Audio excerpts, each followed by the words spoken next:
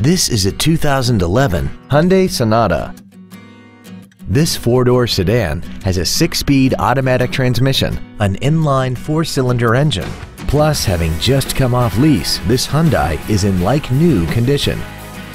Its top features include solar control glass, air conditioning, cruise control, a CD player, a multi-link rear suspension, variable valve timing, an illuminated driver's side vanity mirror, a low tire pressure indicator, heated side view mirrors, and this vehicle has less than 30,000 miles.